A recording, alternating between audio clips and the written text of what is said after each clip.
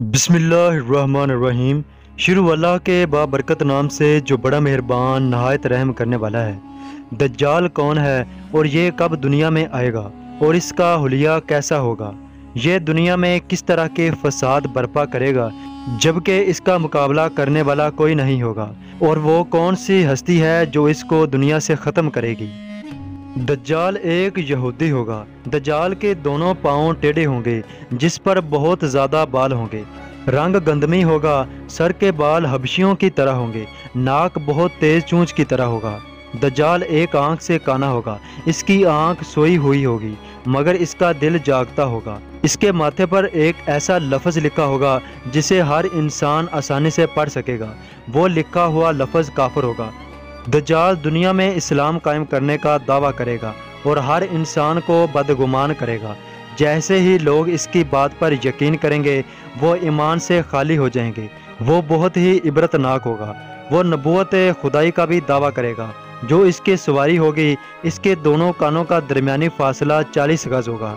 दज्जाल एक झूठा और आला दर्जे का ड्रामेबाज होगा। वो मुसलमानों को पानी की नहरें दिखाएगा। और ज़मीन के नीचे जो ख़जाना पड़ा है, वो ख़जाना बाहर निकाल कर मक्खियों की तरह ज़मीन पर बिछा देगा।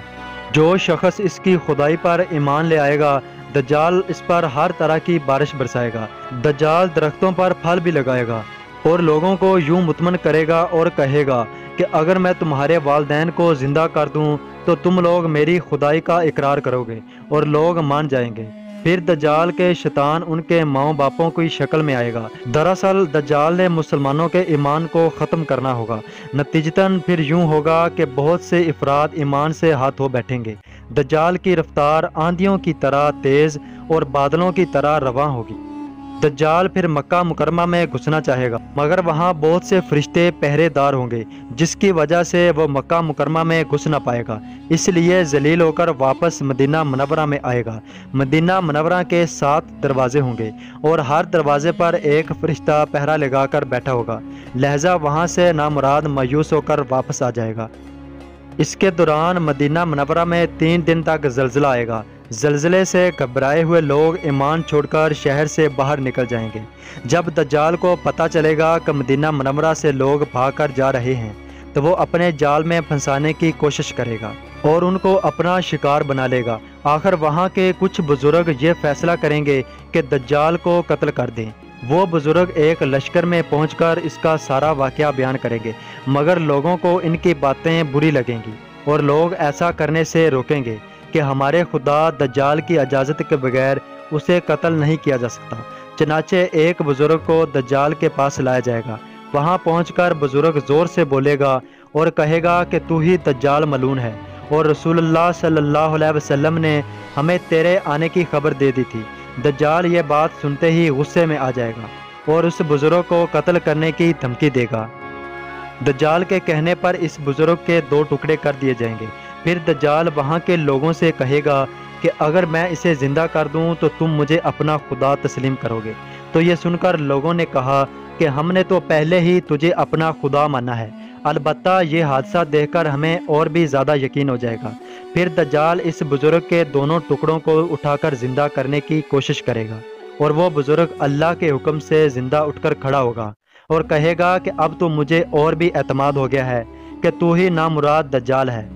फिर दज्जाल उसे अपनी जहन्नम में फेंक देगा, मगर वो आग मुसलमानों के लिए हराम होगी।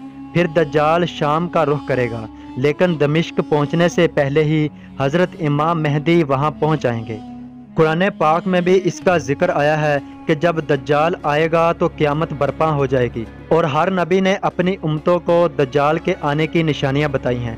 कुरान करीम में अल्लाह ताला ने फरमाया, यानी और उनमें से कोई वो है जो सदका खरात तकसीम करने पर एतराज़ करता है। अगर उन्हें इन सदकात में से कुछ दे दिया जाए तो राज़ी हो जाते हैं। अगर उन्हें कुछ ना मिले तो वो नाराज़ हो जाते हैं। एक शख्स खारजियों का बानी, जिसे खरकोश बिन ज़ुबैर के नाम से जाना जाता है।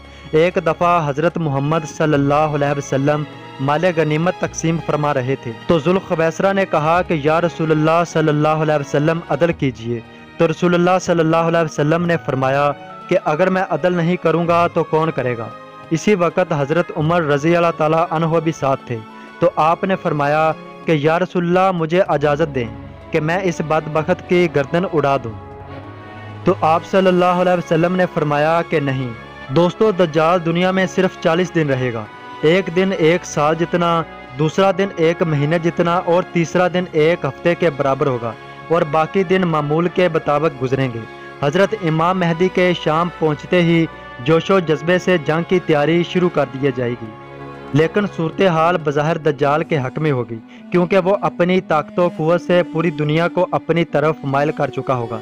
मगर अल्लाह की रहमत और ज़ात पर सबको यकीन है। हज़रत इमाम महदी दमिश्क में दज्जाल के साथ जंग लड़ने की तैयारी कर रहे होंगे। तमाम मुसलमान नमाजों की अदायगी दमिश्क की खूबसूरत जामिया मस्जिद अमोई में अदा कर रहे होंगे। हज़रत इमाम महदी दज्जाल को फिर अपनी फ़ौजी सरगर्मियों का मरकज़ बनाएँगे। हज़रत इमाम महदी सलाम एक दिन नमाज़ पढ़ाने के लिए जाए नमाज़ की तरफ़ जा रहे होंगे कि फ़ौर हज़रत ईसा नाजल होंगे।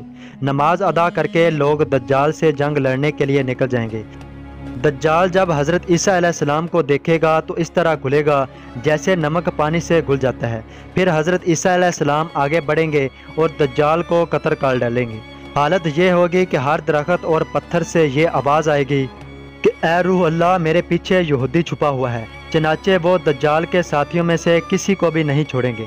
इसके बाद हज़रत ईसा सलाम स्लैब को तोड़ेंगे और इस खंजीर दज्जाल को कत्ल करके जंग का खात्मा कर देंगे। और इसके बाद माल की ऐसी फरादानी होगी कि इसे कोई कबूल करने वाला ना होगा। लोग ऐसे दीनदार हो जाएँगे कि इनके करीब एक सजदा दुनिया की तमाम दौलत से बेहतर होगा। बस अल्लाह ताला सभी को ईमान दौलत की फजीलत बख्शे। मेरे अज़ीज़ दोस्तों, याद रखना, दज्जाल फितना से आगाही तमाम अम्बिया की सुन्नत है, जो कि आज मिट चुकी है। इस सुन्नत को ज़िंदा रखने के लिए इस वीडियो को लाजमी शेयर करें।